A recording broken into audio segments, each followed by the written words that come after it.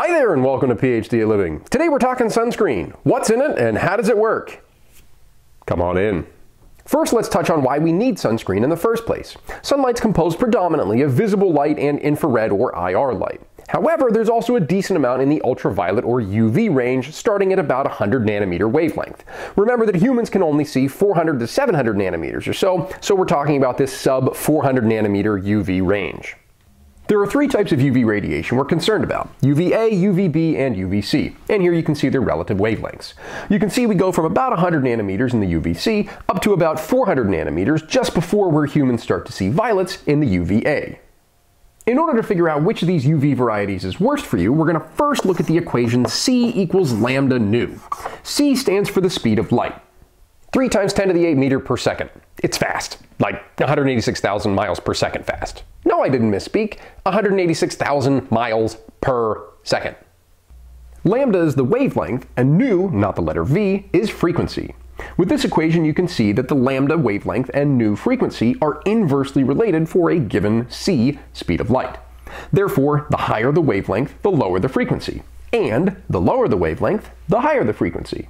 Now let's take this equation and move it to a second one and put all this together.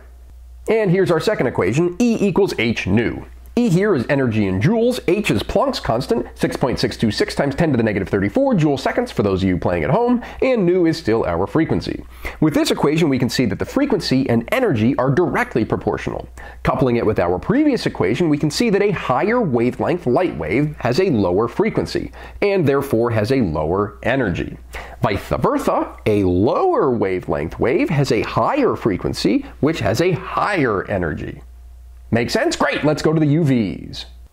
Now we can see that UVC, with the lowest wavelengths, therefore the highest frequencies, therefore the highest energies, is by far the worst of the three. However, luckily, UVC is absorbed almost completely by the ozone layer, so we can just forget all about that one. UVA and UVB, however, pass right through that puppy.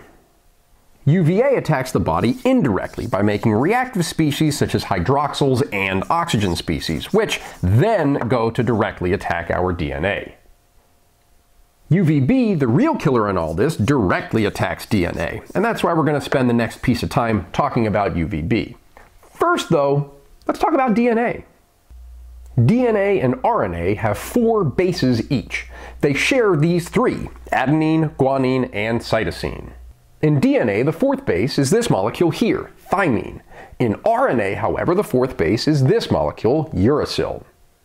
Adenine and guanine are purine bases, meaning they have this heterocyclic bicycle here, with the obvious differences being the amino on adenine compared to the carbonyl on guanine, plus this extra amino here. Thymine, cytosine, and uracil, on the other hand, are called pyrimidine bases because they're all based on the molecule pyrimidine. This heterocycle shown here.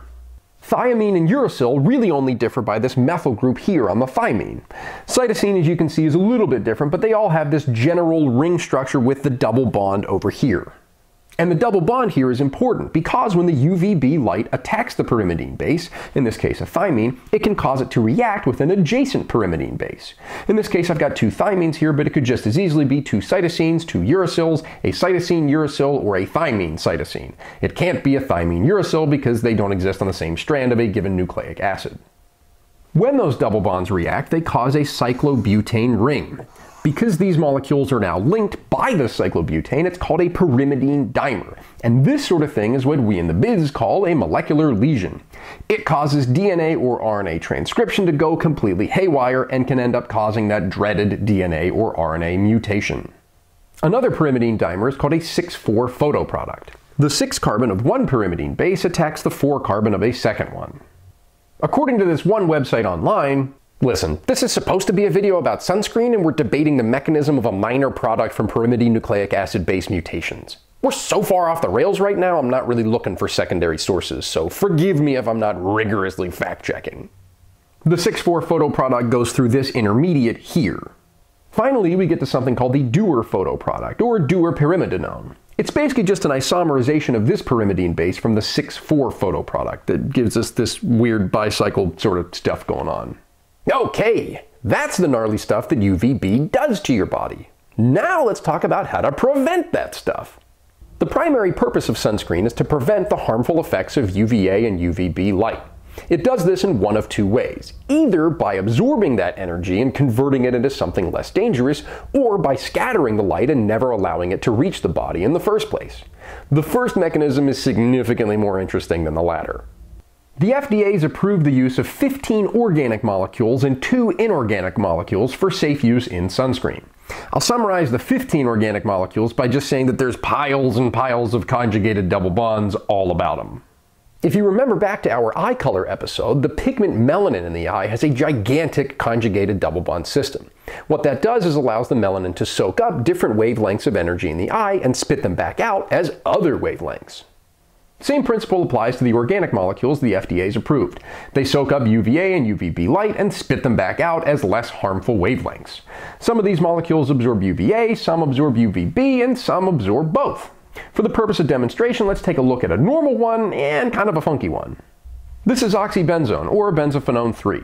I consider it a fairly normal sunscreen ingredient for two reasons. The first, significant aromaticity. The second one I've drawn with the circle instead of the double bonds, well, because I'm lazy. Also, conjugated double bond system, which is sort of part and parcel to the aromaticity. You can see we go double bond, single bond, double to the carbonyl, single, and back into the double bond, single bond, whatever, delocalized electron region of the second aromatic ring. What this does, the aromaticity and the conjugation, is allow the molecule to soak up that harmful UVA and UVB ray and spit them back out as less harmful wavelengths. Again, each of these 15 compounds that you see the FDA has approved are pretty much like this aromaticity conjugation. Even for something funky such as this, ensulizole or phenylbenzimidazole sulfonic acid, the same trends continue. Two big aromatic rings linked conveniently by a double bond here that puts the conjugation together. I bring up ensulizole because of this cool sulfonic acid piece, which isn't on a lot of the other molecules. And that's about it. The inorganic molecules approved for use are titanium dioxide and zinc oxide. These bad boys have allegedly been around for thousands of years as sunscreen. Wasn't there, wouldn't know. And they basically just scatter all UV light possible so your body never even sees it. In addition, if your sunscreen looks white, it might be because the particle size of these oxides is big enough that they also scatter visible light. See what I'm saying? They scatter everything.